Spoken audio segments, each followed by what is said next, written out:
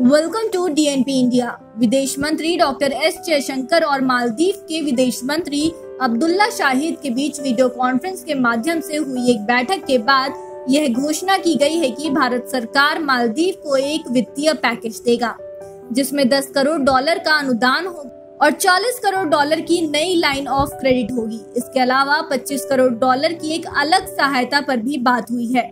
इस पर खुशी ज़ाहिर करते हुए प्रधानमंत्री नरेंद्र मोदी के साथ मालदीव के राष्ट्रपति इब्राहिम मोहम्मद सोली ने ट्वीट किया है, जिसमें उन्होंने कहा है कि मालदीव भारत के सहयोग में आज का दिन एक ऐतिहासिक क्षण है।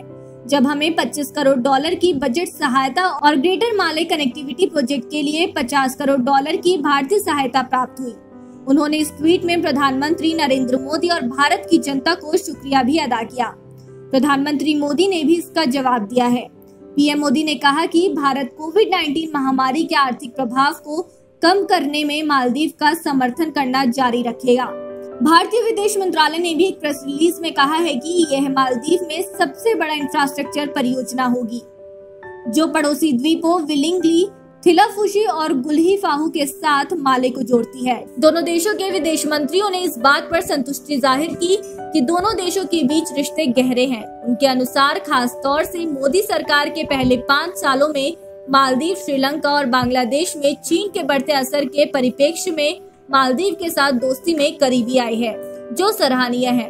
पूर्व राजनयिक राजीव डोगरा ने अपनी किताब में मोदी की विदेश नीतियों पर गहराई से लिखा है, जिसमें लिखा है कि भारत पड़ोसी देशों को सहायता आर्थिक फ़ायदे के लिए या सियासी दबाव डालने के लिए नहीं देता। चाहे वो भूटान का हाइड्रो इलेक्ट्रिक प्लांट हो या अफ़गानिस्तान के संसद की इमारत का निर्माण। जबकि चीन जब सहायता देता है तो उसका उद्देश्य होता है कि सहायता लेने वाले देशों को अपने चुंगल में फंसाना। चीन के बारे में अक्सर ये कहा जाता है कि वो देशों को कर्जों के जाल में फंसा देता है, जिससे देश बाहर निकल नहीं सकते। मालदीव के पूर्व राष्ट्रपति अब्दुल्ला यामीन के समय में मालदीव चीन का गहरा दोस्त बन गया था। श्रीलंका में महेंद्र राजपक्षे की सत्ता में वापसी चीन के लिए एक बड़ी खुशखबरी रही, जबकि भारत के लिए एक चिंताजनक घटना। क्योंकि राजपक्षे अपने पहले काल में चीन के काफ़ी निकट चले गए थे और उस समय श्रीलंका ने खुले तौर पर चीन की पीएलए नौसेना की पनडुब्बी की मेजबानी की थी और चीन के साथ पहले ही गहरे आर्थिक संबंध स्थापित कर लिए थे। अधिकतर देशों में चीन की तुलना में भारत की छवि कहीं बेहतर है। भारत के प्रति अफ्रीका, पड़ोसी देशों और मुस्लिम मुल्कों में मालदीव के लिए इतना महत्वपूर्ण क्यों है? भारत ने बांग्लादेश के साथ अपने संबंधों को मोदी के पहले कार्यकाल के दौरान काफ़ी अच्छी तरह से संभाला था। लेकिन अब बांग्लादेश के साथ भी कठिनाइयों का सामना करना पड़ रहा है। पाकिस्तान के साथ रिश्तों में खटास कोई नई बात नहीं, लेकिन चीन और नेपाल के साथ रिश्ते ठीक चल रहे थे। अब इन देशों के साथ भी संबंधों में तनाव पैदा हो गया है। मालदीव को सहायता देना भारत के लिए कोई नई बात नहीं है। भारत के वहाँ कई प्रोजेक्ट्स अभी भी चालू हैं।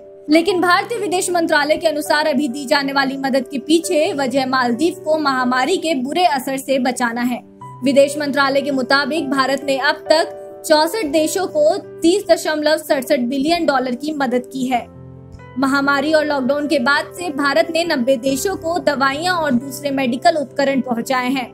इन देशों में मालदीव भी शामिल है। यह भी पूरा अंदाज़ा है कि मालदीव और उनके चुने हुए नेता बुद्धिमान होंगे और हमारी विदेश नीति और हमारे निकटतम सहयोगियों और पड़ोसियों के साथ हमारे संबंधों के बारे में समझदारी से निर्णय लेंगे। अभी तक की जानकारी यहीं तक। डीएनपी इंडिया पर देखते रहिए नई वीडियो और ताज़ा खबरें सटीक जानकारी के साथ। चैनल से जुड़े रहने के लिए सब्सक्राइब करें और हमारे फेसबुक पेज को भी लाइक करें। नमस्कार।